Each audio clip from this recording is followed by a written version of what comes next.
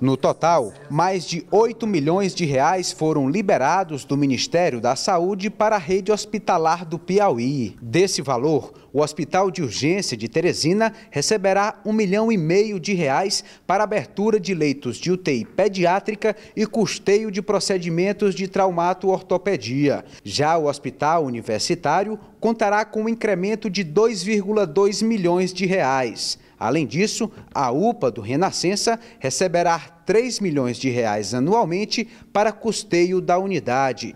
Já o município de Bom Jesus será contemplado com mais de 314 mil reais para custeio anual da clínica de nefrologia. Outros 524 mil reais serão destinados ao Fundo Municipal de Saúde da cidade de Picos. O ministro Marcelo Castro destaca que o principal objetivo da liberação dos recursos é descentralizar os serviços de saúde com a criação de polos em cidades centrais do estado. Nós estamos descentralizando o serviço de oncologia no Piauí.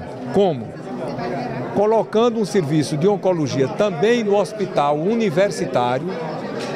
Vamos colocar outro serviço de oncologia em Parnaíba colocar outro serviço de oncologia em Picos e um no sul do estado, para descentralizar as ações da saúde.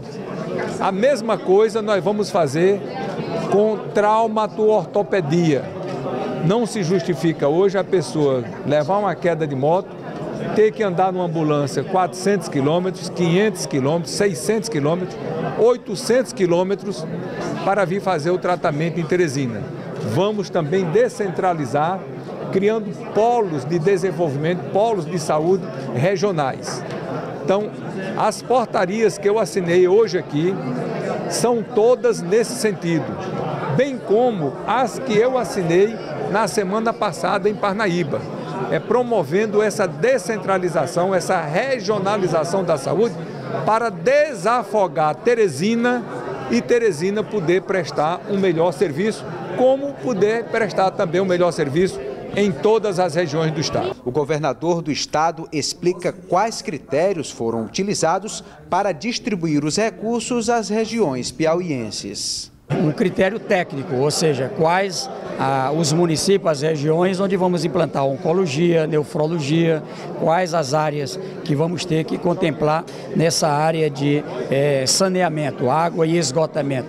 E eh, o importante é que são municípios de todas as regiões e vamos avançar. Prefeitos de cidades que receberam os investimentos em saúde apresentam as demandas que devem ser supridas com as verbas federais. A gente percebe essa inovação da assistência à saúde no Estado, descentralizando, regionalizando, podemos dizer assim, o Estado colocando algumas cidades como polo de saúde. Alguns serviços hoje que são próprios exclusivamente na capital, a intenção é colocar picos como polo, de saúde, Parnaíba e futuramente, com certeza, outras cidades mais do sul do estado.